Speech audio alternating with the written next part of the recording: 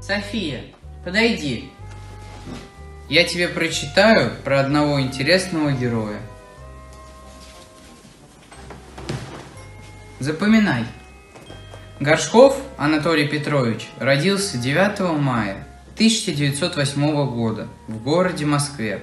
В начале Великой Отечественной войны организовывал партизанские отряды, разведывательно-диверсионные группы и истребительные батальоны. В Туле 23 октября 1941 года было принято решение сформировать Тульский рабочий полк.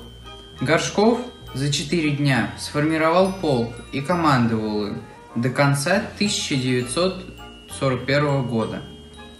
Затем вернулся в управление НКВД по Тульской области.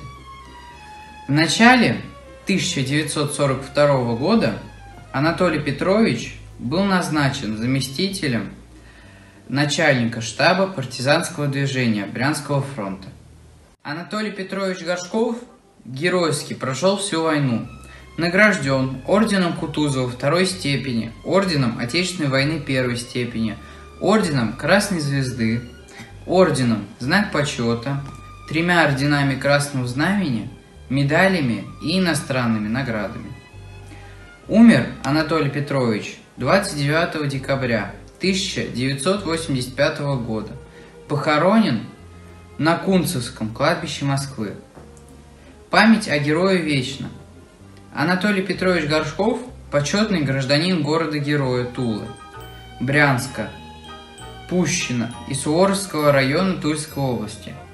В Туле, поселке Косая гора, в его честь названа улица, а на здании бывшего управления НКВД установлена мемориальная доска «Имя героя» увековечено на памятной плите в сквере Туликам героям на проспекте Ленина. Никита, смотри, что я еще нашла про этого героя.